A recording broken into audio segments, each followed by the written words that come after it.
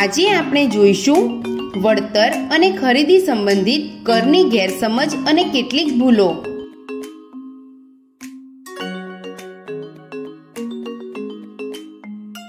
ગેરસમજ એક. જો એક વસ્તુની છાપેલી કિંમત પર દસ ટકા વળતર અને વેચાણ કિંમત પર દસ ટકા કર લગાવવામાં આવે તો શું તે વસ્તુને છાપેલી કિંમતે જ વેચવામાં આવશે?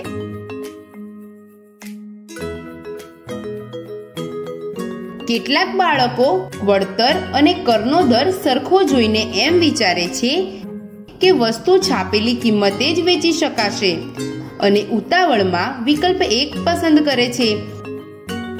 જે એક ખોટો જવાબ છે. ધ્યાન રાખો કે વળતર છાપેલી કિંમત પર આપવામાં આવે છે અને વેચાણ કર વસ્તુની વેચાણ કિંમત પર આપવામાં આવે છે.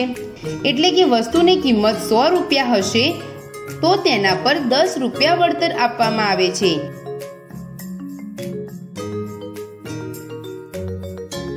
આવી રીતે વેચાણ કિંમત બરાબર છાપેલી કિંમત ઓછા વળતર બરાબર સો રૂપિયા ઓછા દસ રૂપિયા બરાબર નેવું રૂપિયા થાય છે.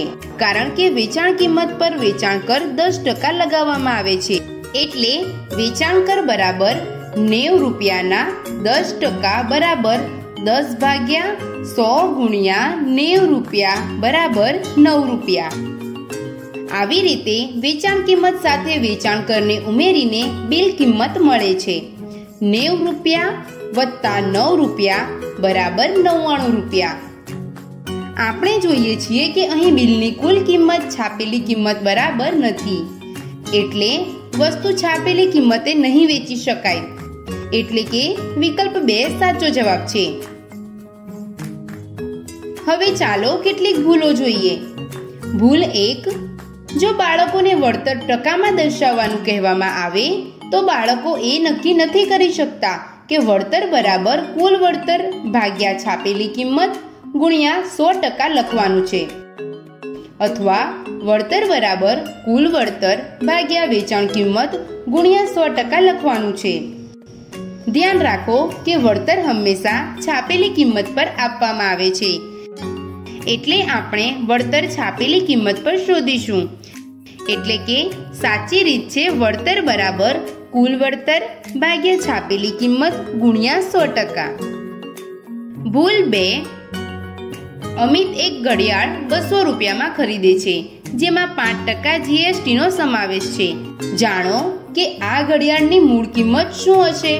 કેટલાક બાળકો આ પ્રશ્નમાં આપેલ માહિતીને અવગણે છે, જેથી તેમને પ્રશ્ન સમજવામાં મુશ્કેલી પડે છે. તે સમજી નથી શકતા કે પ્રશ્નમાં સમાવેશ શબ્દનો પ્રયોગ કેમ થયો છે. તે મૂળ કિંમત જાણવા માટે બસો રૂપિયા ગુણ્યા પાંચ ટકા એટલે કે બસો રૂપિયા ગુણ્યા પાંચ ભાગ્યા સો કરીએ. જેથી તે સમજે છે કે તેમણે જીએસટી બરાબર દસ રૂપિયા મળ્યા છે. તે તેને બસો રૂપિયા સાથે ઉમેરીને ઘડિયાળની મૂળ કિંમત બસો દસ રૂપિયા મળે છે. પરંતુ આ એક ખોટો જવાબ છે. એટલે કે વિકલ્પ એક ખોટો જવાબ છે. અહીં બસો રૂપિયામાં પાંચ ટકા જીએસટી નો પહેલેથી સમાવેશ થયેલો છે. એટલે ઘડિયાળની મૂળ કિંમત જાણવા માટે આપણે બસો રૂપિયામાંથી જીએસટી બાદ કરવી પડશે. અહીં પાંચ ટકા જીએસટી નો અર્થ છે પાંચ ભાગ્યા સો. જો આપણે વસ્તુની વેચાણ કિંમત સો રૂપિયા માનીએ તો આના પર પાંચ રૂપિયા જીએસટી લાગે છે. આવી રીતે મૂળ કિંમત થશે, વેચાણ કિંમત ઓછા જીએસટી બરાબર સો રૂપિયા, ઓછા પાંચ રૂપિયા, બરાબર પંચાણું રૂપિયા. જ્યારે વેચાણ કિંમત સો રૂપિયા છે, તો મૂળ કિંમત પંચાણું રૂપિયા છે. આવી રીતે જો વેચાણ કિંમત એક રૂપિયો હોય, તો મૂળ કિંમત થશે પંચાણું ભાગ્યા સો રૂપિયા. આવી રીતે જ્યારે વેચાણ કિંમત બસો રૂપિયા હશે, ત્યારે મૂળ કિંમત થશે પંચાણું ભાગ્યા સો ગુણ્યા બસો બરાબર એકસો નેવું રૂપિયા. આવી રીતે જીએસટી ઉમેરતા પહેલા ઘડિયાળની કિંમત, એટલે કે મૂળ કિંમત થશે એકસો નેવું રૂપિયા. એટલે કે સાચો જવાબ છે વિકલ્પ બે. આજે આપણે જોયું વળતર અને ખરીદી સંબંધિત કરની ગેરસમજ અને કેટલીક ભૂલો.